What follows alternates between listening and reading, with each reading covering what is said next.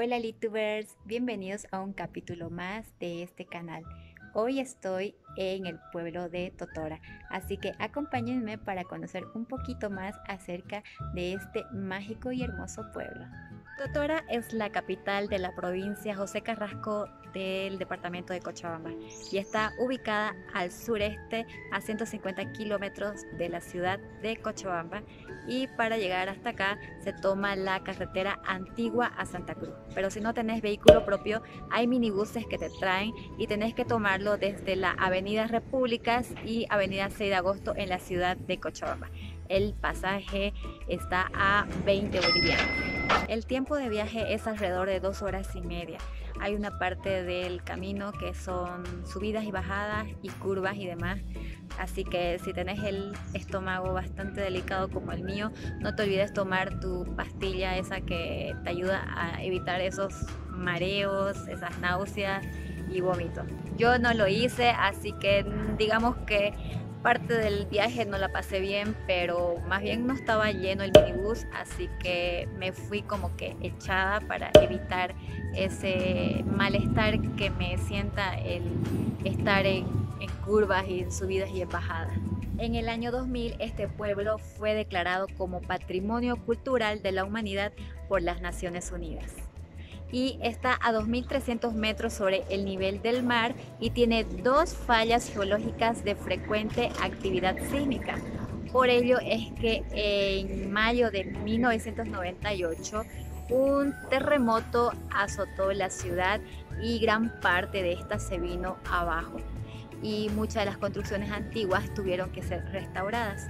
En la actualidad, la ciudad ya ha sido restaurada casi en su totalidad.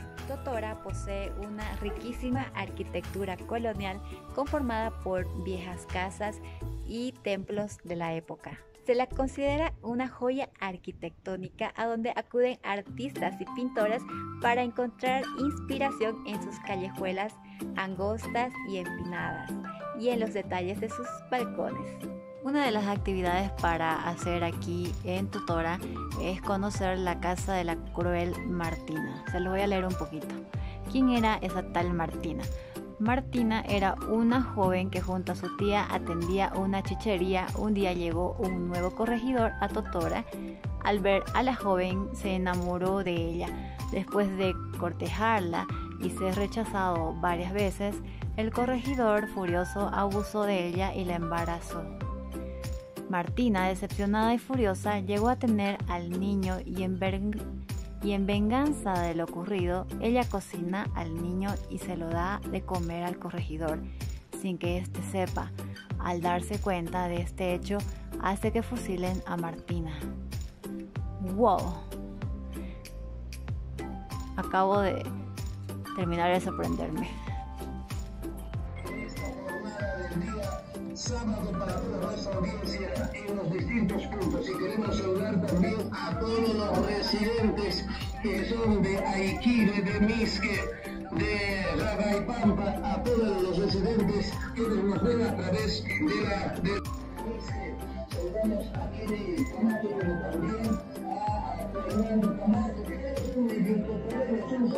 un la familia Camacho.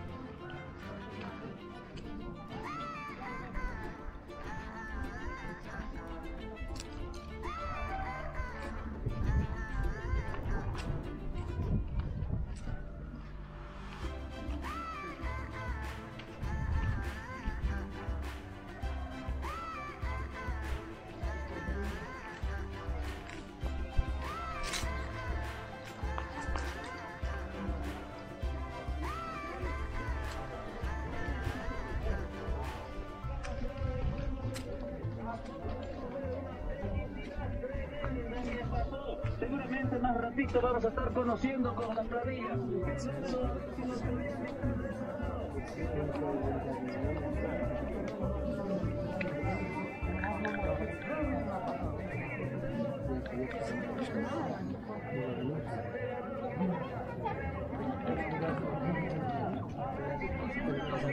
Justo nos encontramos con un rally, aquí estamos esperando que lleguen las motos. Vienen desde Aquiles, pasando por Misque y van a terminar aquí en, en Totora.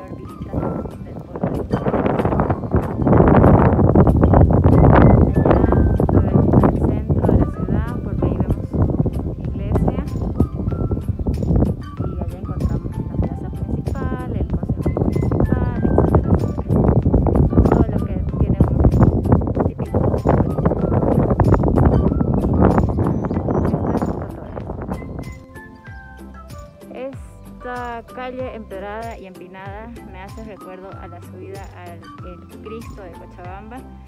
Es igualito. Aquí vemos parte del pueblo a mi derecha.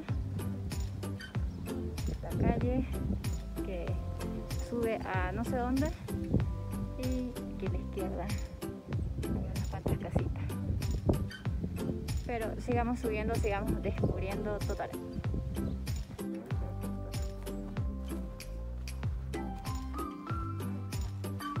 Amigos, aquí